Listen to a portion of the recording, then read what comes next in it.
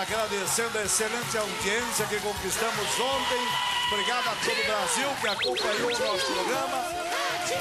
E que é muito bom saber que a gente está fazendo um programa que o público gosta. Eu queria até avisar já a Poderosa que mais um pouquinho É vou pegar no rabo de vocês. Hoje eu pago Vou pegar, vou pegar. Eu não tenho medo da Poderosa, não. Aqui tem café no bolo. E hoje eu vou ter, hoje eu vou ter dois dedos de prosa com é, é, o Brasil inteiro já conhece. Santa Catarina conhece muito. Rio Grande do Sul conhece mais ainda. Mas o Brasil conhece ele, é um do- dos mais acessados da internet. É um, um- um radialista, um comunicador do estado agora de Santa Catarina. Já foi do Rio Grande do Sul, agora está em Santa Catarina, lá do SBT de Santa Catarina, mas ele é muito polêmico. E hoje a cobra vai fumar nesse programa. Pelo amor de Deus. Não tem papas da língua, fala grosso, é sucesso na internet. Dois dedos de prosa. Vai! Ele nasceu no Rio Grande do Sul, é casado e tem três filhos. Psicólogo por opção e jornalista por vocação, começou a trabalhar como radialista na década de 60. Além de trabalhar em rádio e televisão, ministra palestras sobre motivação, mercado e educação. Apresenta diariamente o SBT Meio-Dia, em Santa Catarina, e opina sobre os mais variados assuntos. Hoje, Luiz Carlos Prates vai ter dois dedos de prosa com Ratinho. Muito bem, estou aqui com meu colega, né? Colega de televisão, colega de SBT. Ele em Santa Catarina já, já trabalhou também na, na, na RBS, se eu não me engano, Rio Grande do Sul. É isso, Prates? É isso? E a gente já conversou bastante, gosto muito de, de muita coisa que ele faz e por isso que eu queria conversar. E hoje o nosso Twitter tá ligado, você entra, vai ligando, né? vai tweetando a gente e a gente vai falar com ele. Eu já tenho aqui é, um Twitter, já tenho uma primeira pergunta. Mas daqui já vou aí, Renato. Agora eu vou conversar um pouco com o Prates aqui. Prates, tudo certinho com você? Graças a Deus. Começou em 60 em rádio? 1960, dia 29 de junho. Tenho São Pedro por meu protetor. Muito bem. Agora, você. Você. Ah, tem o VT? Tem VT dele? Tem VT dele? Vamos rodar um VT. Só para você, você que já entrou na internet, dar uma recordada. Vai. Guri menor de idade faz, pinta e borda. Ninguém lhe senta a mão na cara porque é menor. Na minha delegacia, ele apanha nos dois lados da cara e vai aprender a conjugar. Vai aprender português. A conjugar o verbo ranger. Ranger dentes. Vagabundos de menor idade na minha delegacia vão lamentar porque nasceram. Professores, univos, porque vocês têm força. Vocês têm a maior força da pátria. Vocês são formadores de caráter. Vocês são formadores de destino. Vocês são professores. Vocês não são uns merdas. Vocês são professores. Respeitem-se. Façam-se respeitar. Porque a Copa já está sacramentada. Não vamos nos classificar para a final. Isto está decidido. É sentença condenatória. Os hospitais absolutamente depredados, sucatados, os médicos mal pagos, o corpo clínico deixa a desejar, falta medicação para os pobres, nem falo das escolas, nem falo da segurança. Mas o Mané Garrincha já está em 1 bilhão e 500. Ninguém diz nada. O Brasil nunca cresceu tanto quanto sob a chamada ditadura militar. Estradas rasgaram o Brasil. Universidades foram multiplicadas. Ciência e tecnologia começaram para valer neste país sob a tutela dos militares. João Figueiredo, o general, o duro, o grosso, morreu pobre. Isso é verdade. Isso é muita verdade. Agora, Prates, quando você fala assim com, é, com ênfase, você não fica preocupado com que, com que as pessoas que você está ali colocando, é, é, por exemplo, quando você fala dos militares, você não acha que a esquerda arrepia? Opção pela esquerda é uma opção pelo fracasso. É o camarada que não deu para nada, vai para uma marginal da vida, joga pedra na cruz do capitalismo, porque não tem coragem de levantar cedo, dormir tarde e acreditar que água benta produz resultado. Esta água benta, a da testa. Muito bem. Queria saber, você está vendo esses, esses, esses, deve ter visto negócio da passagem de ônibus. Você não acha que a passagem está sendo uma grande desculpa para esse um, um movimento político? Eu gostaria de entrevistar e na condição de polícia eu pegaria 10 deles, aleatoriamente. Primeiro, me mostrem as notas escolares. Duvido que entre os agitadores haja um único nota 9, já nem digo 10. E ademais, eu quero o extrato da Receita Federal do Imposto de Renda. Eu duvido que a família do agitador não tenha automóvel, que não ande de automóvel, que não consuma produtos de grife. Então, é um protesto encenado e artificializado por gente com segundas intenções, Ratinho. Quer dizer, não é um, não é um protesto que nós estamos vendo aí agora na televisão, assim, mas esse protesto, na sua opinião, não é um protesto do povo. O povo não está protestando. Esse daí foi um, um louco que fez uma loucura aí, uma bobagem. Rapaz! Olhem bem pra cara deles. Não são guris marginais, não são pobres. Não passam fome. Visivelmente são de uma classe média uma classe média bem posicionada na vida. O Você protesto... acha que eles estão ali mesmo para badernar? O motivo aí é político. O camarada que tem determinação na vida, que tem um foco na vida, que quer ser alguma coisa na vida, ele não sai para a baderna. A esta hora estaria estudando, pensando num novo modo de trabalhar e crescer. Muito bem. Me, me traga do Twitter aqui, Renata. Twitter Roberto Mendonça. Qual deve ser o papel da polícia para pôr ordem nesse quebra-quebra?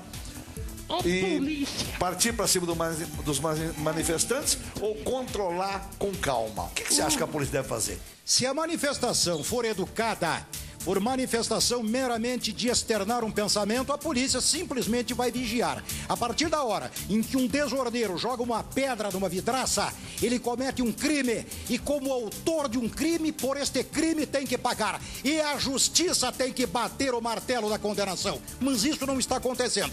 Quando a polícia age com energia, não falta, ratinho, entre nós, colegas que depõem contra a polícia, botam e rebotam a imagem várias vezes condenando a polícia polícia. O meu apoio incondicional à polícia quando energicamente coíbe a baderna depredatória. Fora disso, a nossa polícia é educada assim e sabe se comportar. Muito bem. Cristiane está perguntando: o que, que o Prats pensa da pena máxima de três anos para menores assassinos? Uh. Eu penso que isso faz parte daquilo que já está dentro das escolas, a odiosa pedagogia do amor.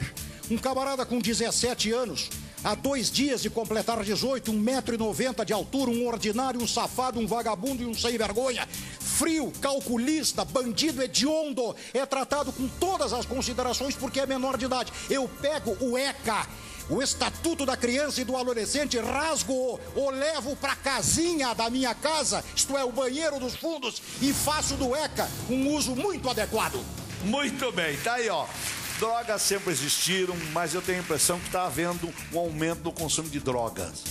Tem gente que quer liberar a droga. Você acha que, por exemplo, a maconha deve ser liberada? Você é contra? Você é a favor? O que, que você pensa disso? Sou absolutamente contrário. Radinho, os caras estão consumindo droga por vida vazia. Um camarada ocupado, um estudante que se envolva com o seu crescimento, com a sua responsabilidade diante dos pais, um jovem empresário, um empresário conceituado, não tem tempo para consumir droga. A droga, Radinho, é uma tentativa mágica, fantasiosa de ocupar um espaço vazio de uma vida vazia. O verdadeiro verdadeiramente focado, aquele que está predeterminado a ser alguma coisa, nem sabe que existe droga. Muito bem. Você acha que está havendo uma desestruturação, desestruturação da família? Esta tua pergunta me faz lembrar de Rui Barbosa. O Rui dizia o seguinte: multiplicai a família e tereis a pátria.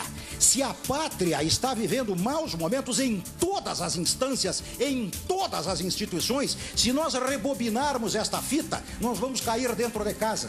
Pai e mãe educando mal. A palavra mágica em educação, Ratinho, é não.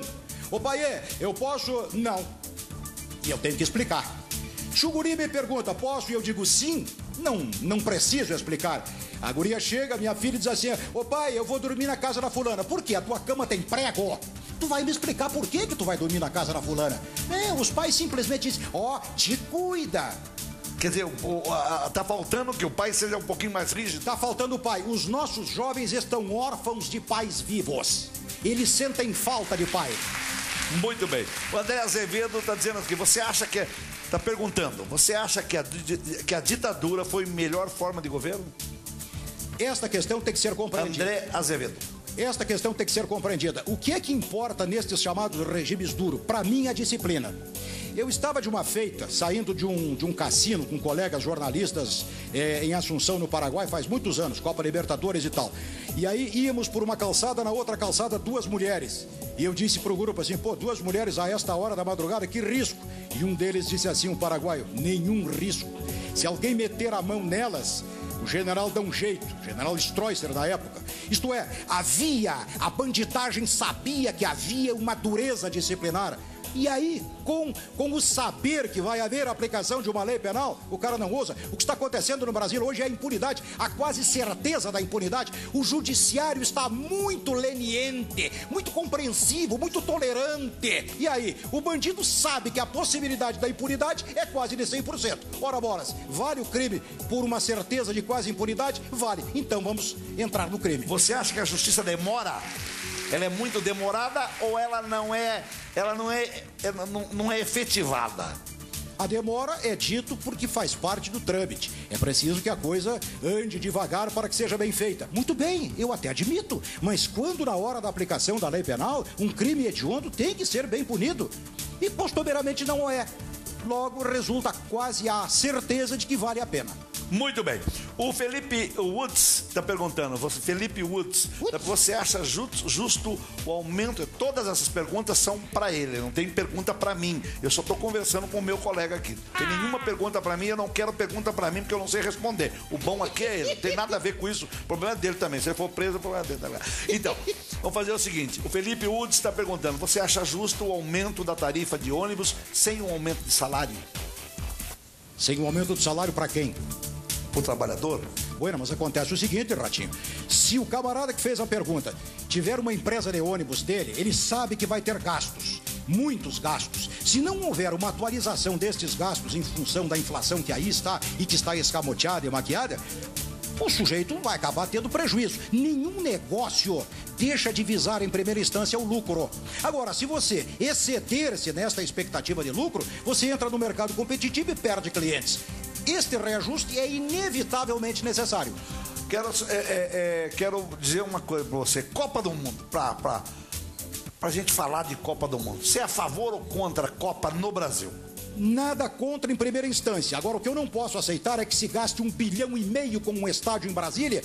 Com este dinheiro, Ratinho, com este dinheiro, nós resolveríamos a questão dos hospitais públicos dos três estados do Brasil. Entende? Tá.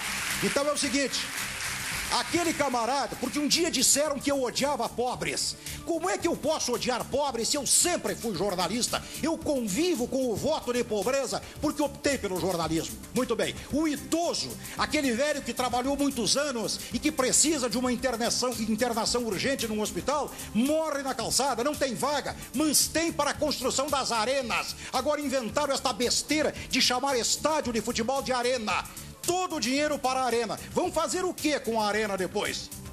É, tem muito lugar que vai ter que perguntar. Mais uma pergunta aqui, é, é Twitter Guarnieri. É, ele não vai querer falar sobre isso, não vai querer. Guarnieri, eu acho que é um assunto que já está meio. Mas eu vou perguntar, porque eu tenho que respeitar o Twitter, né? Quem, porque o cara está prestando atenção no programa. Guarnieri, qual a sua opinião sobre o casamento gay?